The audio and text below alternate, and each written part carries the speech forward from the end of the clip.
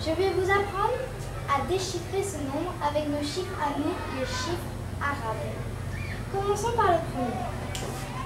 Celui-ci signifie 1000 unités. Le deuxième. Celui-ci signifie 100 unités. Mais il est dessiné 5 fois. Donc, le calcul, 5 fois 100 égale 105.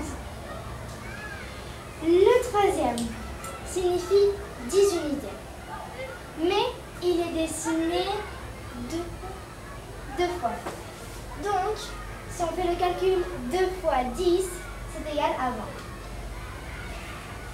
Le petit dernier est égal à une unité, mais il est dessiné 7 fois.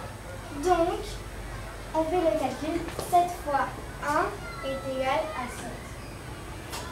Bilan. Le premier, 1000. Le deuxième, 500. Le troisième, 20. Le quatrième, 7. Euh, si on fait la somme, oh, ça fait 1520, 1527. Une petite remarque. Ce nombre n'est pas le même que la dernière fois, mais pourtant il veut dire exactement la même chose. 1527. Pourquoi? Dans l'écriture égyptienne, l'ordre ne compte pas. Euh,